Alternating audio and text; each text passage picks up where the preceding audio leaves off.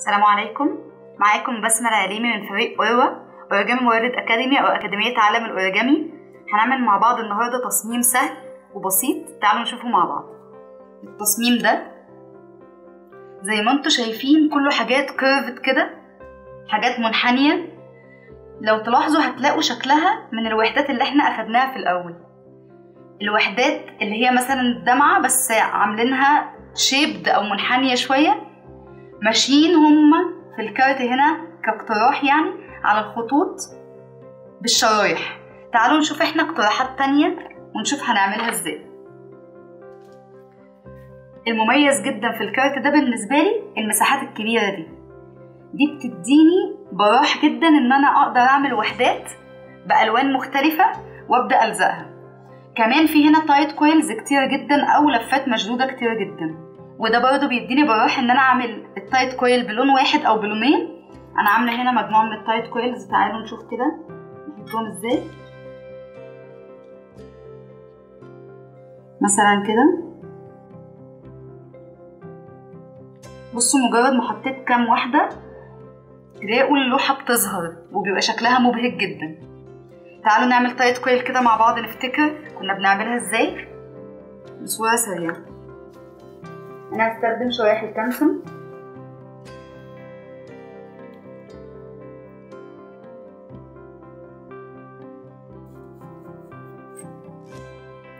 إن إحنا كنا بنلف على ال... بنلف الإبرة.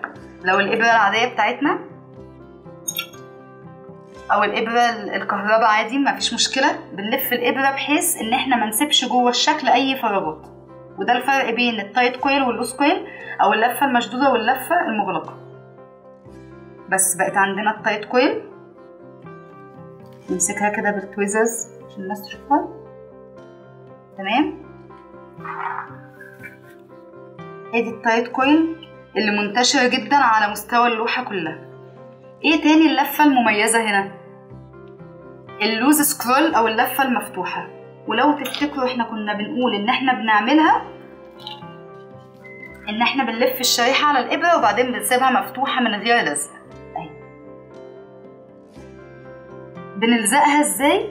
زي ما أنتوا عارفين إن إحنا كنا بنقول إن إحنا بنلزق الحتة المقفولة الأول ونثبتها كويس جدا وبعدين بلزق بالجلو على الحتة السايبة وبمشي بيها عن طريق ال tweezers كده إن أنا إيه؟ بثبتها.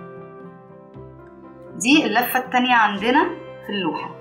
اللفة التالتة دي بقى اللي بقول لكم مالية اللوحة جدا الدمعات المنحنية. أنا هنا لازقة شريحتين في بعض وتعالوا نعملهم مع بعض. كنا بنقول لما بنيجي نلزق شريحتين في بعض إن أنا بحط glue على نهاية الشريحة الأولانية وبعدين بحط بداية الشريحة التانية عليها بحيث أعمل بينهم overlapping كده أو تداخل وبعدين بنلف عادي جدا كأنها شريحة واحدة. وكنا بنقول إن التركة اللي بتنجح الشرايح اللي هما لازقين في بعض إن أنا لازم أسيبهم ينشفوا كويس جدا عشان لما أجي أسيبها تفتح تفتح عادي جدا ما تلزقش بالجلو ويبقى في شريحة فيهم بتفتح والتانية لأ. زي ما أنا عاملة كده. هتلاقوها فتحت قوي هنا عشان في شريحة فيهم خامتها أخف شوية من التانية.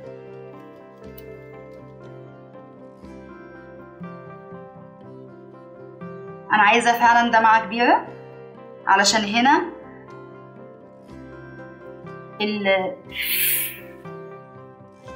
المساحة بتاعت الدمعات كبيرة. فممكن مثلا شكل زي ده شريحتين أساسا ما يكفوش. ممكن نعمل ثلاث شرايح. وممكن نعمل شريحتين وبعدين نكمل بحاجة تانية. الاقتراحات ما بتخلصش زي ما أنتوا عارفين. إحنا هنا بندي زي هنت كده نبدأ منين؟ والإبداع طبعا متروك ليكوا أنتوا. هنلزق أنا كده عندي لوس كويل أو لفة مغلقة. خليتها دمعة.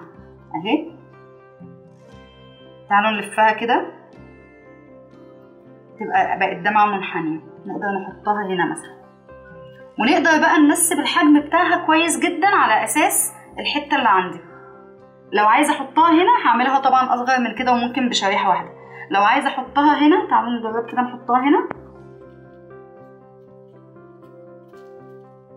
شغالة هنا بس ممكن نكمل دي بحتة تانية. بأي شريحة بقى. أنا قلت لكم قبل كده إن إحنا بنعمل اللوس كويل أو اللفة المغلقة ونبدأ نعمل منها الشكل اللي إحنا عايزينه لأن هي أشكالها فعلا ما بتخلصش. مستنية أشوف تطبيقاتكم للتصميم ده على ال page. ولو عجبكم الفيديو يا ريت تعملوا له like و share. ونعمل subscribe للقناة عشان يوصلكم كل جديد. وبأكد عليكم إن أي tool بنستخدمها في ال videos موجودة عندنا اونلاين تقدروا تطلبوها. أشوفكم الفيديو الجاي. سلام عليكم.